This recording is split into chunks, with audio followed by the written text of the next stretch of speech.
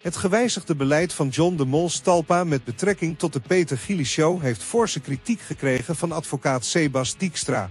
Dijkstra, die slachtoffers van huiselijk geweld vertegenwoordigt, uit scherpe kritiek op de Mol en stelt dat kijkcijfers nu boven de belangen van slachtoffers worden gesteld.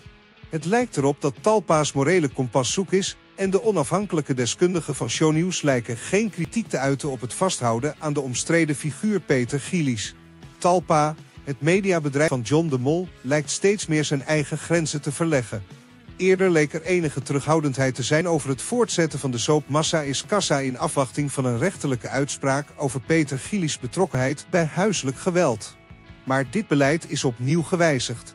Nu lijkt Talpa door te gaan met de show, zelfs als Gillies in hoger beroep gaat. Dit roept vragen op over de ethische overwegingen van het bedrijf.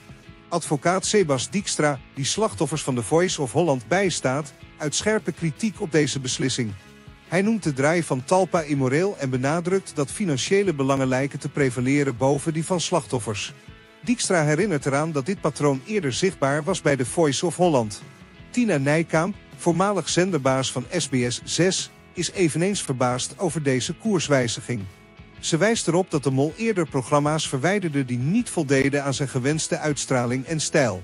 Het feit dat hij nu vasthoudt aan massa is kassa lijkt in tegenspraak met deze eerdere acties. Nicole Kremers, de mishandelde ex-vriendin van Peter Gillies, lijkt afstand te nemen van de situatie en focust zich op haar eigen leven. Haar manager Wouter benadrukt dat Nicole geen interesse heeft in deze kwestie en liever gefocust is op haar toekomstplannen. Ondanks de kritiek lijkt Talpa vast te houden aan Peter Gillies en zijn show. Er zijn geruchten dat het volgende seizoen van de show gefinancierd wordt vanuit Peter zelf, wat vragen oproept over de motieven achter deze beslissing.